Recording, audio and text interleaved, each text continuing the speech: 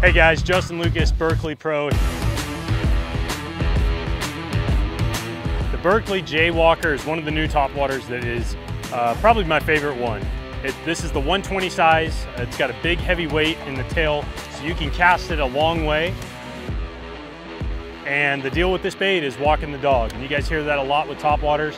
A couple things that are gonna help you learn how to walk the dog or walk the dog better is going to braided line with a mono leader. So I have about 18 inches of mono leader just to keep the bait from getting hung up in the treble hooks and everything. And then 30 pound Berkley X9 braid uh, all the way down to that leader. I throw it on a seven and a half foot rod, an eight to one fast reel. And if you get this set up just like this, you're gonna be walking the dog like a pro in no time.